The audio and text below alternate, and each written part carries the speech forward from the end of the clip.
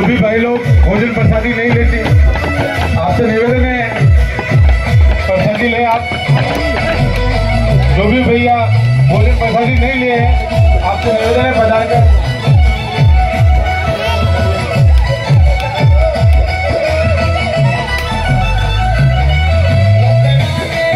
आपसे निवेदन है जोरदार एक बार तालियाँ बजाकर